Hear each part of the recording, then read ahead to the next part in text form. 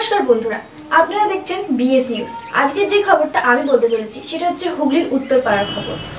হুগলির উত্তরপাড়ায় একটি বিয়ের ভিডিও ভাইরাল হয়েছে। কেন এই ভিডিও ভাইরাল হলো সেটা আজকে আমরা ভিডিওর মাধ্যমে দেখতে চলেছি। কি এমন হয়েছিল সেই বিয়েতে? তো চলুন আজ দেখে নিয়ে যাক। নজির গড়ল পৌলমী সঞ্জীব। এভাবেও বিয়ে করা যায়? হ্যাঁ করে দেখাল গোটা উত্তরপাড়া।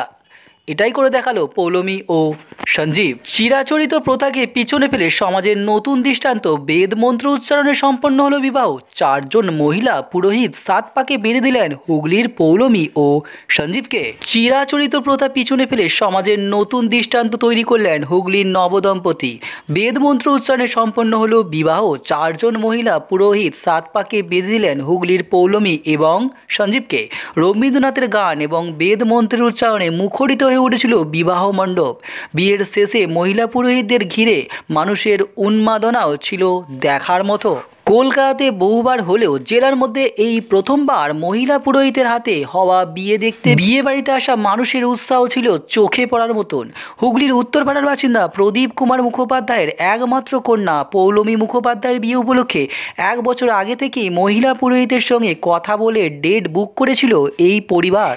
এ প্রসঙ্গে কনের বাবা প্রদীপ কুমার মুখোপাধ্যায় বলেন, বর্তমান সময়ে পুরুষ এবং মহিলারা সকলেই কিন্তু সমান। তবে হিন্দু ব্রাহ্মণদের মধ্যে এখনও পর্যন্ত ব্রাহ্মণ্যবাদ কিছুটা হলেও বর্তমান। সেই কারণেই পুরুষরাই সমস্ত পূজা অর্চনার কাজে এগিয়ে থাকেন। তবে তিনি নিজ ব্রাহ্মণ পরিবারের হলেও, তিনি কিন্তু নিজে ব্রাহ্মণ, কিন্তু সেই ব্রাহ্মণ পরিবারের হলেও নিজের মেয়ের বিয়েতে ব্রাহ্মণবাদের এই পুরুষতান্ত্রিকতার তিনি বিরোধী করেন। তাই নিজের মেয়ের বিয়েতে শহরতলির মানুষের কাছে দৃষ্টান্ত তুলে ধরার জন্য মহিলা পুরোহিত দিয়ে বিয়ের আয়োজন করার সিদ্ধান্ত তিনি নিয়েছিলেন। এ প্রসঙ্গে মহিলা পুরোহিতদের অন্যতম নন্দিনী ভৌমিক জানান, কলকাতার মধ্যে মানুষজনের কাছে তারা পৌঁছতে পেরেছিলেন আগেই।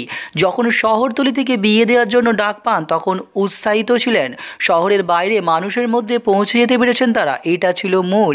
তিনি আরও বলেন, তারা কোনো রীতি ভাঙছেন না, বরং বৈদিক মন্ত্রের যে ব্যাখ্যা, তা মানুষের কাছে তুলে ধরছেন।